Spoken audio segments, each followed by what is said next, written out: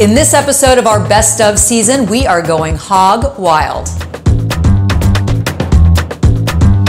I'm Cat Neville, and this is Feast TV.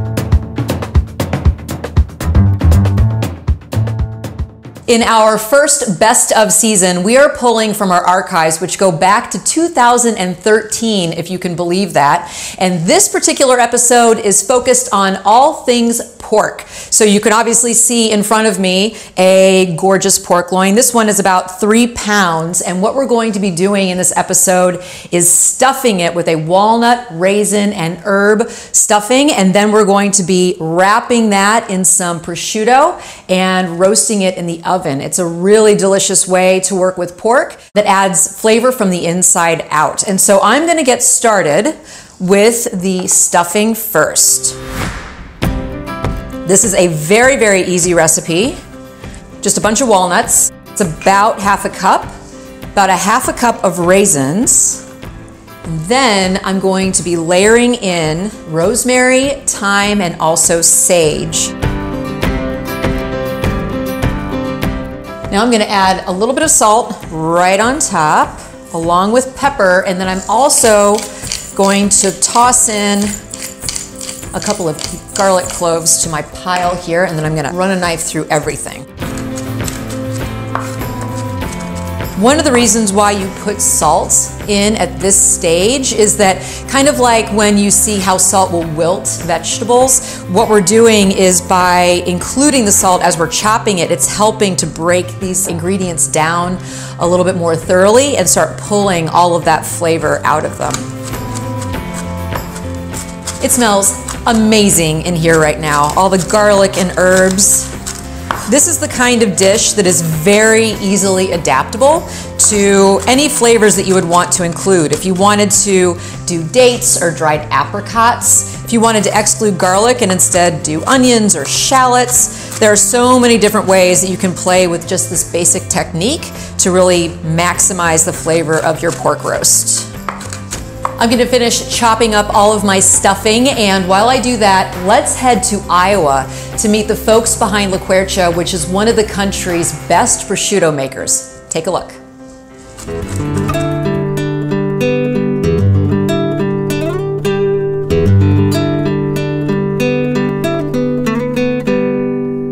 So how did La Quercia come about? How did this how did this start? Well, we spent three and a half years in Parma, Italy, and uh, we really we didn't learn to make prosciutto then, but we learned to eat it, and we learned a lot about eating food and appreciating great ingredients. We did notice that there was not a lot of fine uh, cured meats in the United States, and that was sort of a step we could take the way people had with wine, with cheese, with beer. You know, it doesn't matter if you're Herb from Iowa or, you know, Armandino from Seattle, you know. If you give them something great to eat and actually help them understand why and where it came from, it's a great reception. One of the things that I think does help to distinguish your product is that you're using heritage breed pork. Mm-hmm. Is that something that you've done from the very beginning? We tried different pork breeds, mm-hmm. and the ones that we liked the best for specialty breeds were Berkshire and Tamworth. And why is that? We felt that the meat had the best quality. I mean, that's kind of the ultimate test. How does it taste? It was kind of ironic to me that the people from Italy were telling me that we couldn't make prosciutto were the same people coming and eating meat at restaurants and saying, "Oh, the meat here is delicious, the best meat in, in the world." Meat. Yeah, you know, we heard a lot of different things about the air is important and the climate's important and the equipment's important. To us, it's really the meat. The meat's what determines. it. I mean, it's ninety six percent. You guys still get in there and salt the hams yourselves too. I mean, you're not just you know running the company. You still, on a day-to-day basis, are in there making the products yourselves. I I think at this point we just like to do it. It gets long, you know, and cold. It gets long and cold, but I'm really glad we do it. I'm glad we can still do it, and I think it's it's one of the things that I value about working with our employees is that they know we take this really seriously. That's an important message to say, you know, the work that you are doing is really important work, and we're here to do it too. Is a very old process. It's been done for millennia, so it's nothing we created. But you put the salt on, the salt penetrates, pushes the water out, so you get the meat dry enough so it can support higher temperature. Basically, we dry the meat so that it doesn't support bacterial growth. That's how it's safe to eat, and then we age it. You can see the meat starts shedding moisture. It's dripping down the edge of the racks. It's a very elemental thing. Th- These are the two ingredients. This is the one chance you have to combine the two ingredients. And it's going to sit here, and then we're going to do it again, and it's going to keep, that's going to keep on happening. So this is the winds of January. It's chilly in It's here. It's chilly in here. so we have a lot of air movement and a lot of refrigeration power. So we're taking a lot of moisture off of those hams. Here we're continuing to dry with refrigeration. So we're in the last phase of winter. We don't have the air movement, so uh, it's slowed down. So they're going to be in here a month. So where we were previously, it was cold like winter, and now we're in this warm, almost humid room that is something like summer, essentially. Yeah, it'd be early summer. This is incredible. Look at all of these hams. There's so many of them. They're gorgeous. And they have the paste applied. Right, so that, the purpose of that is to inhibit the moisture loss. So we've taken about as much of the water out as we want, and we want to slow it down, but we want to continue to age them because uh, we want to favor that enzymatic activity that's going to break down the meat and break down the fat and create that special flavor and texture. So how long will it will they stay here with the paste on? Uh, six months, seven months. Yeah. And then do you just rinse it off? Yeah, I wish. it's more work to get off than it is to put on. So how do you get it off? You're going to see. Oh, excellent. Let's go see. This is where we take the hams from in there and make them really, really pretty. Yes, and, and ready for sale. So Sebastian, what what is your role? Uh, my title is the plant manager, um, so I basically make sure everybody's in the right place at the right time so that we can make the best possible prosciutto. The device they're using is called a wizard knife, and basically all that is is a three-inch circular razor blade that just spins. Um, uh, so it's a motor-driven razor, and it just goes through and shaves off the sugna. Do you ever get tired of walking through here and seeing this? No, I mean, you know, sometimes, like, almost always when I walk through here and see this, I worry. What are you But worried I- about? We always worry about the quality. Well, but that's why you deliver such high quality is that We're not- always worried about it. Yes. Yeah, yeah. It's a great job for an obsessive compulsive. Yeah.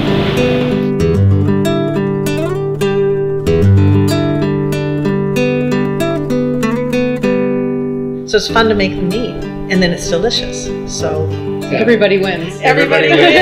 Yeah. But that's ultimately it. If it's not delicious, you aren't going to. It's that's more. You know, it has to be really good to eat. There's not there's not a lot of point to being in the food business if you don't make something that's delicious. My visit to La Quercia was when all of the gears clicked in my head with regard to how simple and how complicated making prosciutto is. I mean, all it is is a ham that has a bunch of salt on it, but the way that it's moved from room to room and mimicking all the different seasons is just incredible. So that trip was really one that has stuck with me. And it was such a, a treat to be able to get inside of the La Quercia facility and meet the folks behind that amazing product.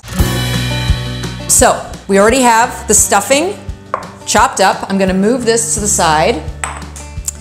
Here is my pork loin. This is about three pounds, and you can see there's a nice amount of fat on top. I want to leave that intact because that's going to help to keep a lot of moisture in the roast as it's cooking. What I'm going to do is I'm going to butterfly this and open it up, and that's where we're going to be putting the stuffing. Put this on my larger cutting board. It's pretty simple to do this. You just kind of open it up like a book. And we want as much surface area as possible so that we can have all that wonderful stuffing really shine through. Okay, so we have our pork loin. I'm going to generously salt and pepper the interior.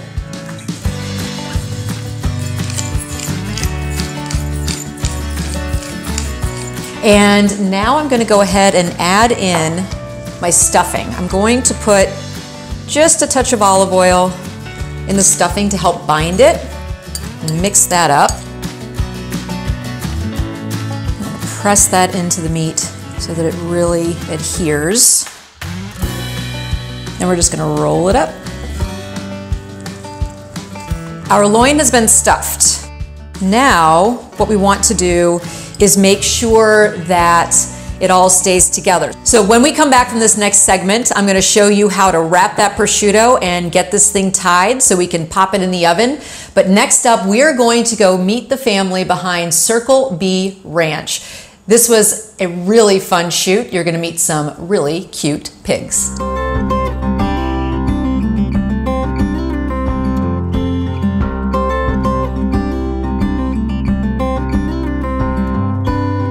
Yes, I'm John Backus, and uh, that's my wife Marina over there. You're in Seymour, Missouri, and uh, on my hog farm, Circle B Ranch. Eep. Here's old Barney. Come on. Come on. That's the biggest pig I've ever seen. He's, he's actually a, a Newman hog. Ah. Well, we always appreciated natural food. We always kept our own chickens, ducks, turkeys for our, for our own consumption because we, we trusted the food. Uh, we wanted to go into a, uh, a, business where we thought it was in demand, and uh, certainly natural food is in demand. Well, being pasture raised, as you can see, they're on a pasture, and they're uh, given full uh, the full ability to exercise all their instincts. And we raise our animals to certain standards. Uh, they're raised humanely and naturally, so it affords the best possible product to uh, the consumer. Can we see the babies? Yeah. While we were waiting for the hogs to grow, I, had, I couldn't get a job. No matter what I tried to do, I couldn't get a job. So um, we started making sauces. We started making a tomato sauce, a cranberry chutney, and a barbecue, which was pretty awesome. And we got them into the different stores, and it was it was good. So then he said one day, he said, you know, hey, we're making we're making uh, tomato sauce, why don't we do meatballs? It's like sort of a no-brainer. So.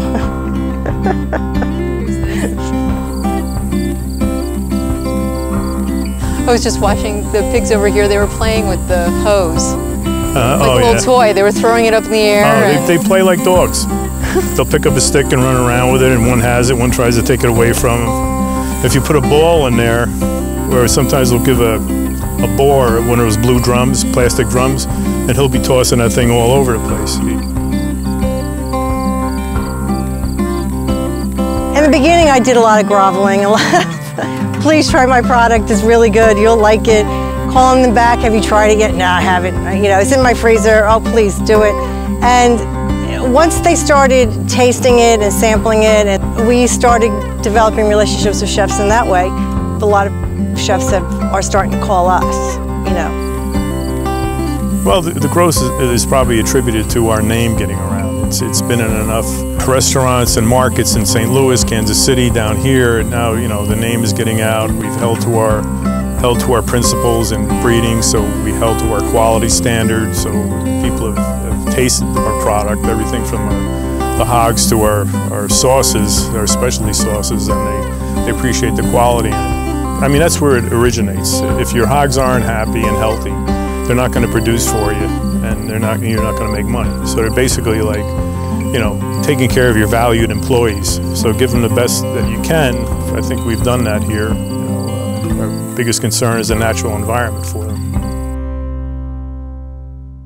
My favorite part of that segment is when Maria is talking and I'm just right off camera, but the pigs just kind of start weaving in and out of her legs. It was such a fun moment when you're there, but it also shows what amazing care they take of their pigs because they have a great relationship with their animals. Um, okay, so what I'm doing now is I am cutting lengths of kitchen twine that are going to be long enough to wrap around this pork loin and I'm going to arrange them on my cutting board and then I'm going to lay the slices of prosciutto on top of that and then put the loin on top of that and wrap everything around. That's the easiest way to accomplish this. So I'm gonna get that done pretty quickly and then I'll show you how to lay out the prosciutto.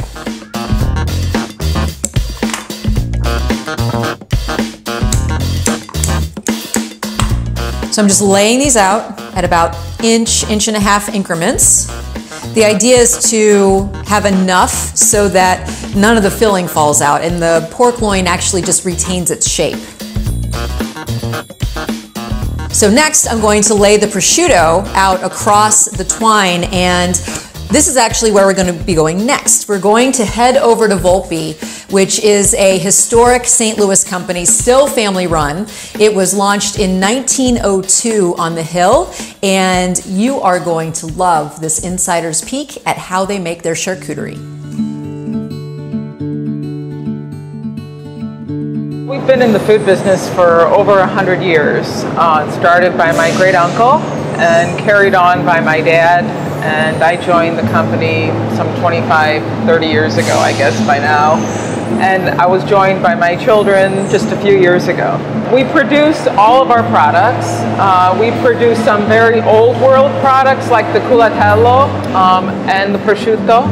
And we produce some newer type of products like the bresaola, which is the dry cured beef that is not very well known in the United States, but is very popular because it's a very lean piece of meat.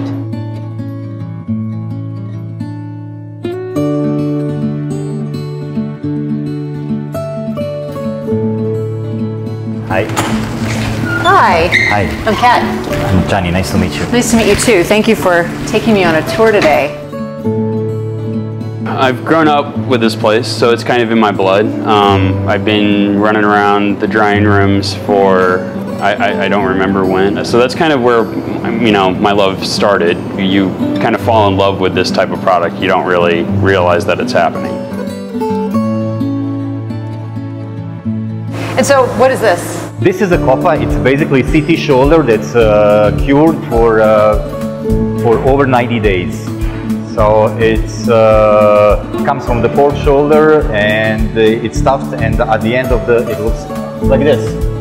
And so the mold that's growing on the surface, can you tell me about that? The mold is very beneficial for our processes because the mold keeps the product from uh, crusting and it also by penetrating through the casing inside the meat it's eating organic acids it's, it's giving it much much more of the flavor and a lot of other like salami makers around the especially in america they will apply mold to the surface but not here yes that's correct in this plant in this facility we've been over for we've been making salami for over 110 years so we, in our aging rooms, we developed our own mold. So we, we think that we don't need to do this because we have our unique mold that comes from our aging rooms because of 110 years making the product. So it's Volpi mold. So it's pretty much Volpi mold. That's wonderful. Unique. That's wonderful. Thank God for my daughter because because she got into uh, into the business and with a passion, and she really want to make it make it for. Now I hope that my grandchildren are doing the same thing. So we, we're looking forward to maybe another hundred years, I guess. I think to a Volpi, an artisan producer is who we are. Um, we've always had been hands-on, you know, being a family business, you wear many different hats. And artisan to me means that you are actually making the product, following it through the process, um, standing behind it even after it's sold. Because we don't we don't make huge amounts of volume, uh, we are by definition an artisan producer. I'm just glad that people are recognizing the quality of artisan producers now. This is culatello.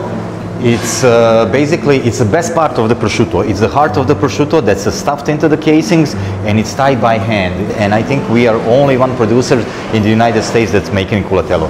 Culatello is being aged for almost a year. Wow. And this is how it looks like when it's done. If you remember upstairs, you saw it. This is what it looks like. And how much of its mass does it lose? It loses for over 36, 30 to 38 percent of Wow. its own weight. It's called Genoa salami. It's uh, stuffed in the natural casings. And what's uh, amazing about this product is uh, that uh, we have uh, used the same recipe for 110 years. We never changed the recipe. Wow. It has been always the same. Anything that we do, we should be making it our own in some form or fashion.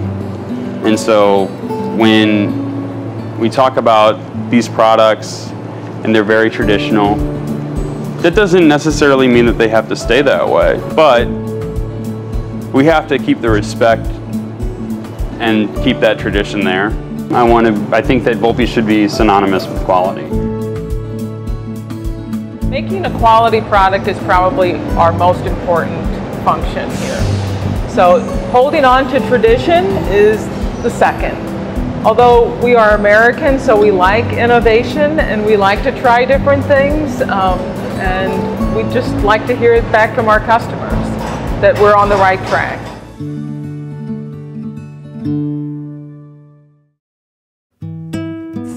So prosciutto obviously is one of the most traditional things that Volpi makes, but they make a range of charcuterie and everything is just fantastic. What's most interesting about the Volpi story is that now they are introducing a line of heritage breed prosciuttos that are sourced from all the Missouri and Kansas farms that they can really partner with. So each package of prosciutto is going to feature meat from only one breed of hog. It's a really, really interesting project because then you could, for example, just taste all these different prosciuttos side by side and understand the difference between like a Berkshire and a Mangalitsa hog. It's, it's really, really cool what they're doing. So I have salt and peppered my loin. I'm putting just a touch, just a teeny tiny bit of olive oil. And then I'm gonna transfer that over and wrap it all up. Now, all I need to do is tie these guys off and then I'm gonna pan sear this.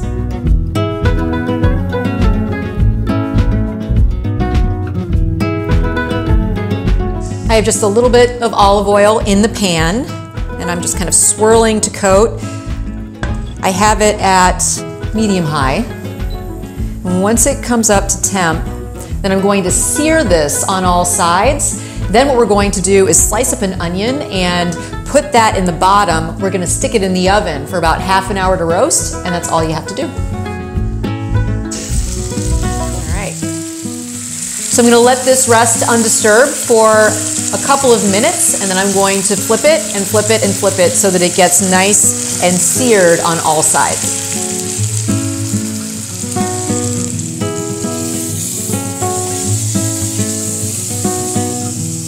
So we're seared on all sides. I'm gonna quickly take this out just move it to the side. I'm just gonna deglaze the pan with a little bit of water. Stir that around, get up all that wonderful, wonderful juice. And then I'm laying in my onions. The pork is just gonna sit right on top of these onions while it's cooking. It's a really simple and fun way to do pork loin. Okay, now we're putting this bad boy right back into the pan. Now I'm gonna pop this into a 375 degree oven for probably about 40 minutes or so until it reaches the right internal temperature, and then that's it. We're gonna make a quick pan sauce and we'll be finished.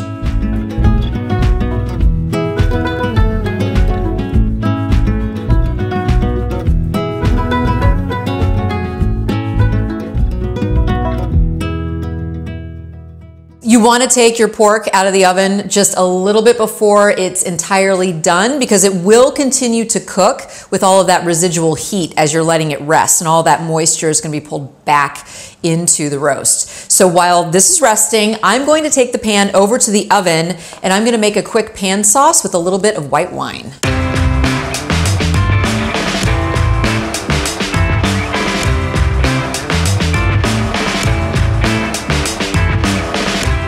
So what we've created here is a little bit of pork heaven, essentially.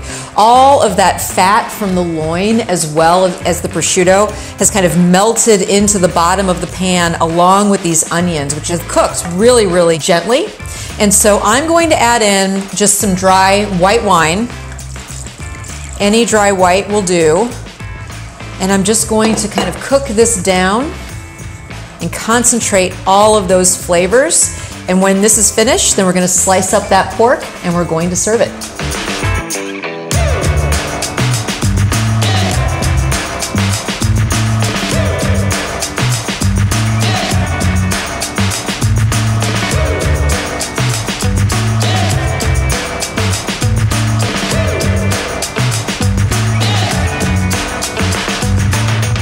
This cooking method really helps to preserve the moisture in the pork. You have the fat from the walnuts and the olive oil that I've put inside the stuffing, but then outside wrapping in that prosciutto really protects all of that wonderful porky goodness. So I hope that you have enjoyed our best of episode dedicated to all things pig, and I will see you next time.